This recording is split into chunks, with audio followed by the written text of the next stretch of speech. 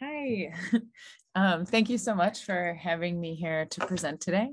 I am Sparklezilla or Lindsay Whittle or Future Lindsay. And I'm very excited to be presenting my work to all of you today. Uh, I often tell people that my primary mediums are collaboration and color. I also frequently work in performance or time-based work, garment, textile design, and education. I have broken down this talk into five chapters. I am trying to tailor this conversation to where my head is at um, with my work presently. Uh, and the chapter slides feature illustrations of my work by my husband, Clint Basinger. I've been, so this first chapter is um, surface, body, and duration. I have been using what I wear as a way to sketch ideas and bring my art concepts out of art spaces and into my daily life since 2004, believe it or not. And I've been documenting it since 2009.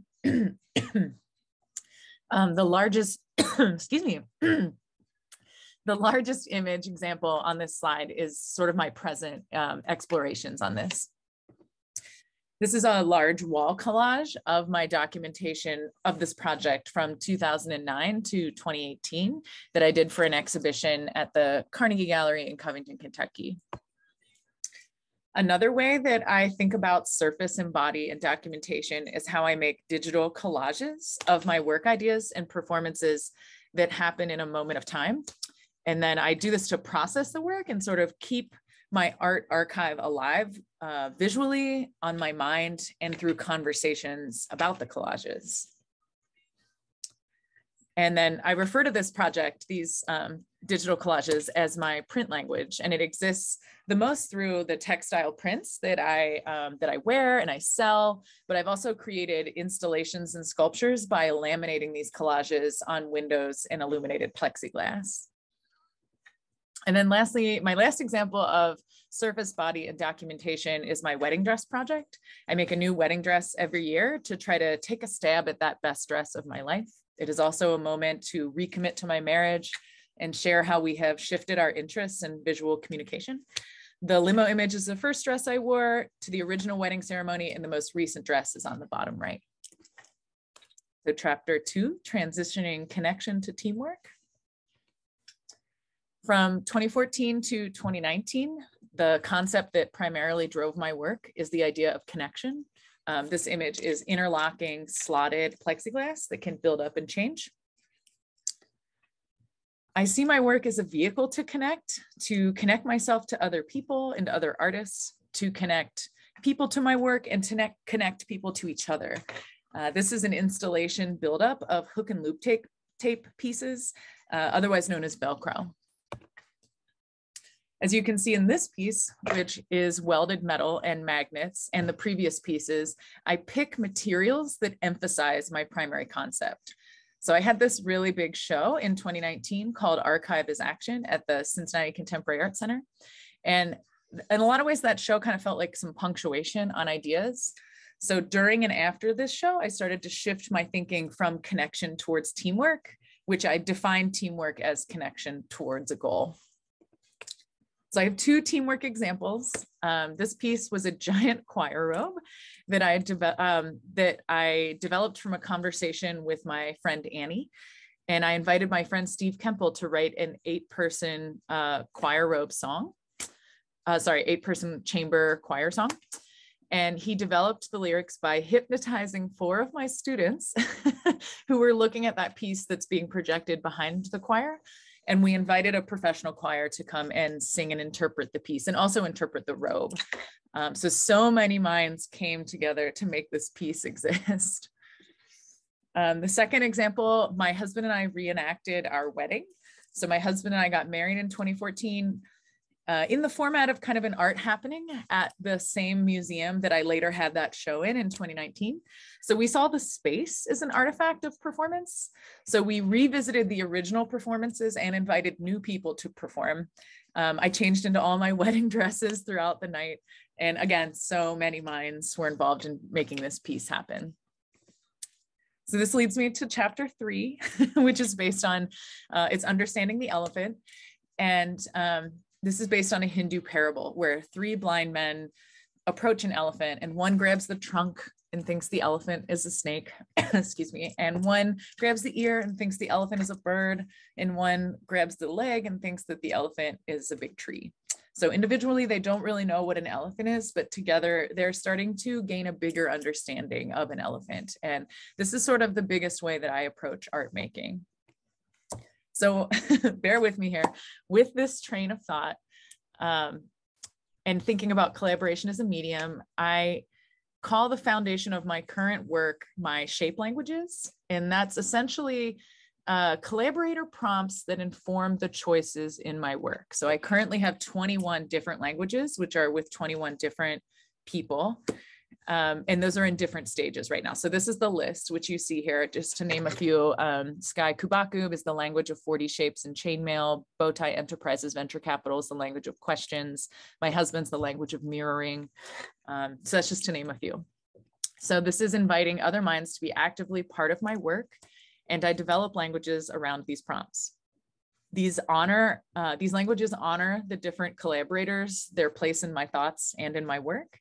It allows me to be transparent in how many people it takes to make my work. Um, it allows me to explore the history and expand my idea of what shapes are in my work. Um, these languages challenge me to think bigger and they push me.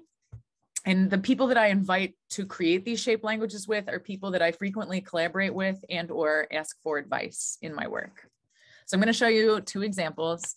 Um, so going back to the choir piece, uh, an example of a shape language that I have with my friend Steve, I took my favorite pages from his choir score. I cut out the negative space and I scanned those shapes and I derived the palette from the from the choir robe itself, from the images from it. Um, and so when I need a 2D shape for my work, I might pull from from this or some of the other shape languages that I have. So this one's kind of a literal 2D shape language. Um, there's some that are a lot more conceptual. Um, this is my a shape language with my friend Lorraine. Her language is the language of architecture and 3D shapes. And I didn't even know that I think in 2D shapes until she gave me this challenge. So, um, so these sketches are, I took some stills from a video collage she made of my work and I did some non-objective drawings from those stills. And now I've been exploring on how to sketch, like turn these non-objective 2D shapes into 3D sketches. So there's a, um, a 3D print and the top right is actually, I was exploring whittling because my last name is Whittle. I felt like I needed to try it. And then uh, this last shape language example is with Benjamin Cook, who is a painter and a vexillologist, who uh, that's the study of flags. And we were both interested in how flags um, like communicate and connect communities. So this is a this these images are a recent installation from last November. It's still kind of fresh on Ben and I's minds.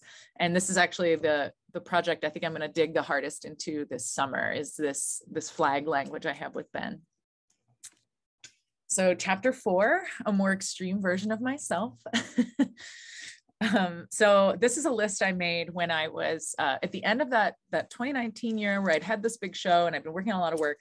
Um, so I made this list of, that's sort of the recipe that makes up who I am. And I tried to brainstorm how I could push all of these different elements and develop a more extreme version of myself. So the first item that I've really tackled is the first item on the list, and that is I'm tall, I'm six foot one. Um, and that's the only one I've started to kind of deeply explore so far. Um, so I've always been tall and it's just a part of my reality and how I engage with people. And in 2021, I developed this three part performance that I call the super tall obstacle course. Um, this can only be completed with another person. I, um, and this version is me and my husband performing it. And there are different experiments that um, use props and objects to make myself and my husband um, taller. And this, it was interesting because it was reacting to that list, but it also became a way for me to dig into some struggles I had been having with mental health. I lost a lot of loved ones in 2020 and 2021, and super tall was kind of a way for me to become taller when I felt so small um, internally. Um, these are just two other variations of the super tall obstacle course that I tried last year. This is super tall installed and um, I'm used, I'm still like working through these ideas of all the different ways I can be taller, like through shoes and hats and things like that. And then in reaction to my husband's persona, Future Clint, I created Future Lindsay, which, um, and this was, I didn't create it in reaction to the list, but I think she's really connected to the list. So in a lot of ways, Future Lindsay um, is an idealized character that's a more extreme version of myself. And my husband and I um, have created a sound art future band called Spacal for now, where we use these personas to build live sound collages. Lastly, chapter five. um, so exchanging ideas. I've recently come to the realization that exchanging information through art and teaching is a huge part of my practice. These are two different projects. Um, the left is called Otherworldly, the right is Communal Hat. These projects were led by me, where I guided youth through art ideas, and we created incredible multimedia time-based experiences together. Uh, these projects could not have existed without putting a lot of minds together, and we were sort of all the teacher and all the student.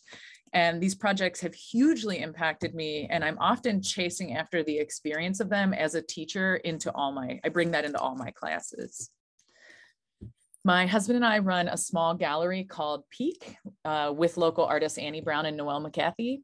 Um, this is a still from a 24 hour performance festival we put together called Performathon in 2019. Um, so we try to use Peak as a way to facilitate amazing art experiences and connect our art community together. And I just feel like that's another example of exchanging information. So I think um, my influences are another way that I exchange that an exchange of information happens in my work. So I'm, I'm super interested in Mr. Rogers and his approach to sharing information in a way that's grounded in support and care. Uh, the middle image is Nick Cave doing a sound suit performance. I had always admired and studied Nick's work, but later he became my advisor in grad school, and that sort of cemented a major place as a mentor and influence in my work. I've recently been very influenced by Linda Montano's uh, performances and rituals. Um, she's the colorful portrait on the right. And her book, Interviewing Performance Artists from the 80s, is on my reading list during this residency. And then when I was nine, I actually wrote a letter to Mother Teresa for a school project, and she wrote me back, which was really impactful to a nine year old. So ever since, I've been really curious about her, and I read a lot of books about her life and character and the sort of precepts that governed her choices. Um, my husband is the gentleman in the suit with his hands up. Um, I've mentioned him a lot, obviously. So I was a huge fan of his art before I knew his character. And I make a lot of art about our marriage, and we make a lot of art together as a team. So a major aspect to him and his work is to take the simplest moments in life and elevate them to give them heart. And I feel like that's an idea that I think a lot about. And it, I also think it connects to my interest in the Fluxus group. And I feel like the Fluxus group kind of opened a door to the idea that any moment in life can be shifted into an art experience. Um, so lastly, I'll mention the Fluxus group on the left and John Cage and Merce Cunningham on the right. Um, so they're probably that those two things are probably the biggest influence on myself and my work right now. Uh, the Fluxus artists I'm particularly focusing on in research are Dick Higgins, Alison Knowles, Benjamin Patterson, George Brecht, and Allan Kaprow in the Rutgers 8. I've taken on John Cage as a research project since 2016 due to his immeasurable um, influence on modern artists and movements through his class at the New School. Um, so the research kind of sends me in a lot of directions, as you can see in this mind map that I made. I mean, it's it takes me from the Bauhaus to Black Mountain College to Duchamp. Um, you know, he traveled extensively. So there's just a lot to dig into. And I think that's what kind of led me into the Fluxus group. So I'm gonna uh, leave you with this thank you piece by Peter Frank. Uh, it's a Fluxus prompt. Uh, so thank you for your time. I'm gonna say thank you 15 times. thank you, thank you, thank you, thank you, thank you, thank you, thank you, thank you, thank you, thank you, thank you, thank you, thank you, thank you, thank you.